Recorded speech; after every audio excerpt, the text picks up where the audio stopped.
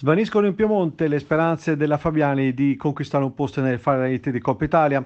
Il match di recupero con l'Alba Moncalieri si rivela fatale, 71-63 la sconfitta per i ragazzi di coach Campanella ed è la quinta sconfitta consecutiva, lontano dal Palaterme.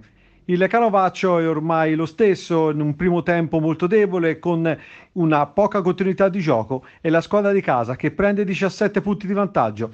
La rimonta, la solita rimonta arriva nella ripresa, stavolta il trascinatore Valerio Circosta con una serie di triple di ottima fattura.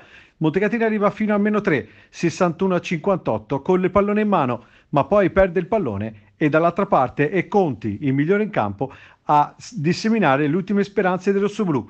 Ancora una volta è venuta fuori la differenza fra le squadre che hanno lunghi puri e Montecatini, 44 rimbalzi a 26 il computo per Moncalieri, ma Conti soprattutto 19 punti, top scorer, il migliore in campo, giocatore che ha fatto molto male alla difesa di Campanella.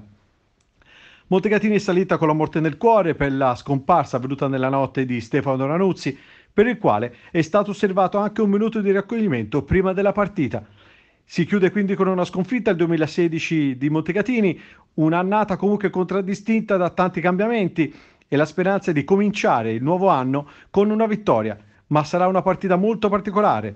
Mercoledì 4 gennaio alle 21 a Firenze, proprio contro la Fiorentina Basket, dove sulla panchina siede Andrea Nicolai.